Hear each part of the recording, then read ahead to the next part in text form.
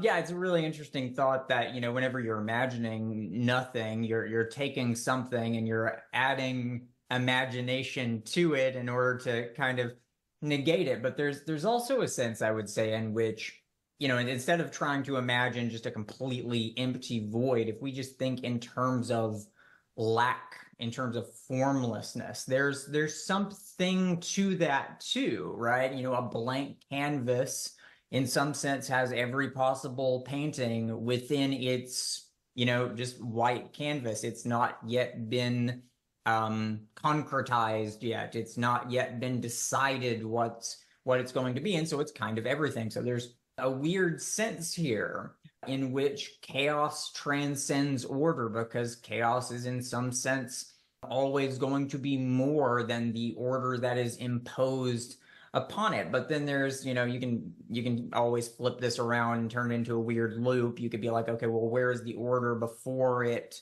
uh, informs the chaos? And and you could say well i mean if it's going to be anywhere that it's got to be in that chaos. It's just yet to be revealed. It's the david that has yet to be liberated from the marble by the hammer and chisel yet. And so there's this weird interpenetration there of form and formlessness being and nothingness, order and chaos. Uh, and and this is interesting uh, because I feel like there's there's this kind of dual fixation. If you if you look at these these really um, maybe misguided strivings towards the transcendental